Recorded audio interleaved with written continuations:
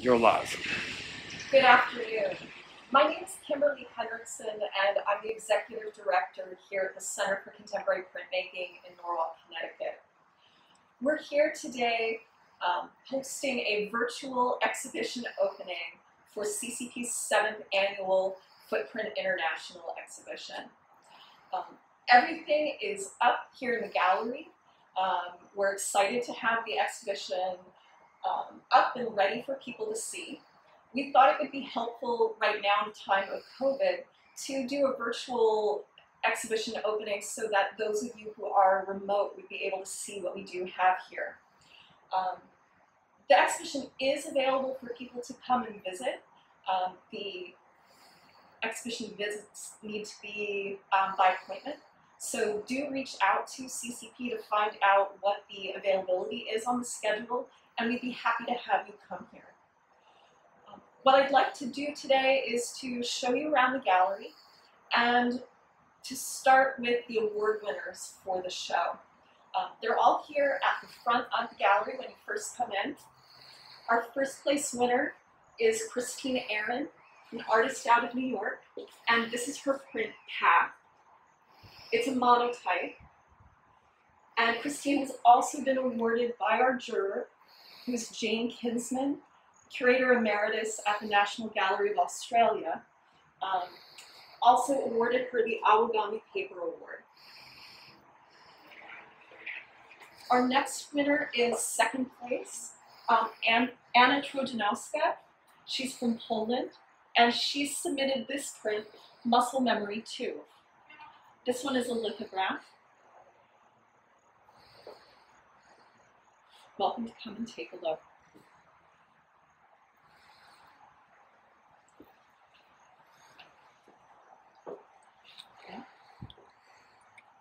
The third place winner is actually split in two. We have two third place winners. Um, is Kyle Chaput here from Texas with his print Rio Bravo 3 3, which is a lithograph with laser engraving and screen print.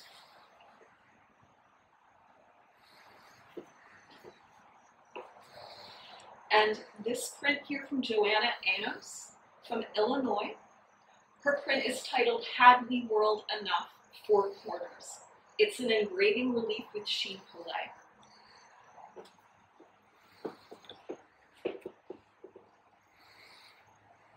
All right. We come through the gallery,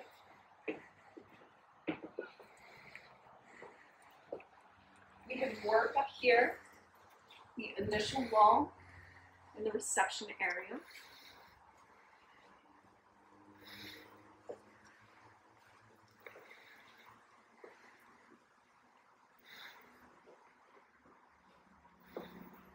and many of the prints that are included in the exhibition prints by CCP member artists.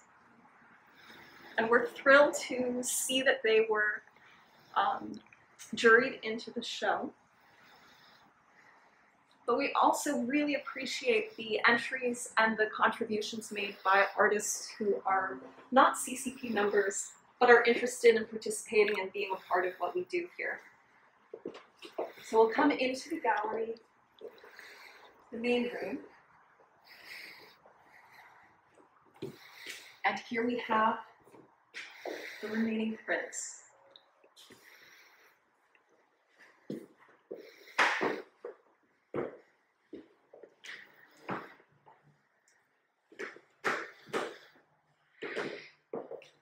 So this is CCP's seventh biennial footprint exhibition.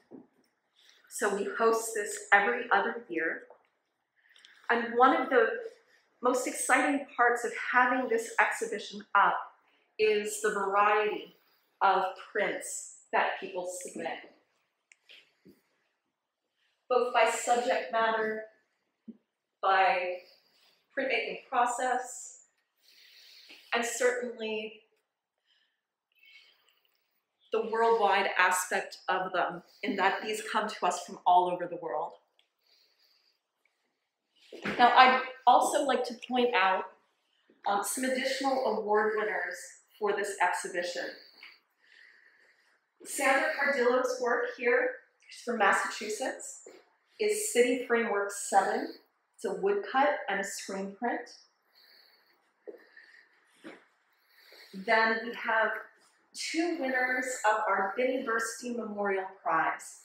This is a print by Barry Goldstein from North Carolina, Sunset at Kiawah, and it's a digitally created print. Our second Benny Burstein Memorial Prize winner is from Jane Cooper here in New York, and her print is called Postlude. It's a monotype on aluminum leaf with hand additions.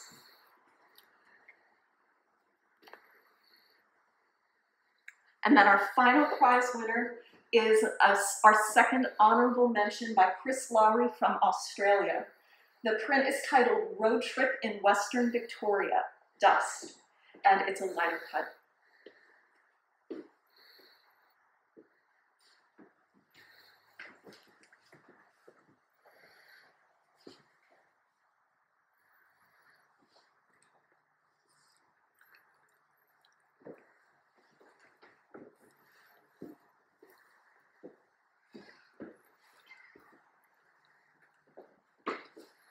It's been fascinating to see all of these prints come into us